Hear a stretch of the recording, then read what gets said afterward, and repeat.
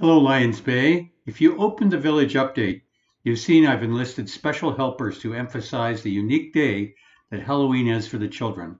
We'll talk more about this later. New to the village is important to me, as you know. Upper Ocean View has two new families. Trish and Tim Baker are from Toronto and move into their new home in early January.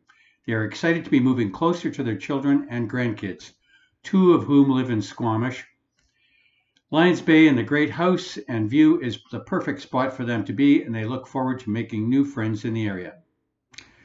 New arrivals Jean Marc Daniel, his wife Rebecca, and their daughter Inez are Mary's and my new neighbors. They live two doors down.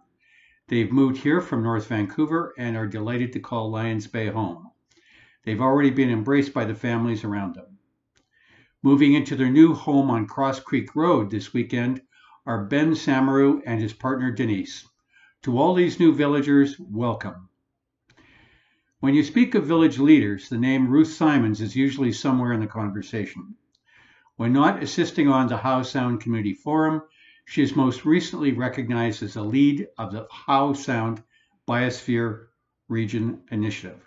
Four and a half years into this project, the Canadian Commission for UNESCO has endorsed its nomination and is now well on the way to official designation by UNESCO International.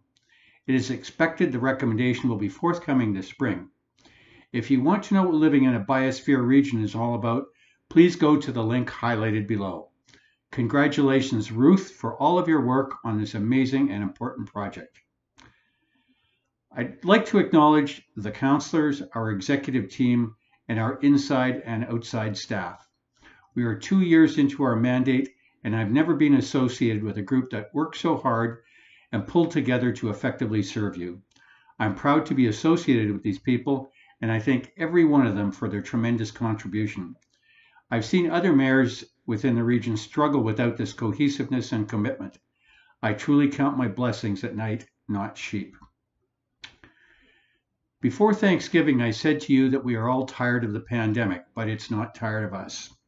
In the three weeks since Thanksgiving, things have gotten worse as the second wave is truly here, and, and I'm afraid to say it's likely to be followed by a third. We need to be diligent to prevent the spread of the virus, and I ask that you always exercise this. I spoke to a res- resident yesterday. She and her husband are retired. They have a son in his 20s who lives in their basement due to work and friendship contacts. The bottom line is that he mingles in several bubbles.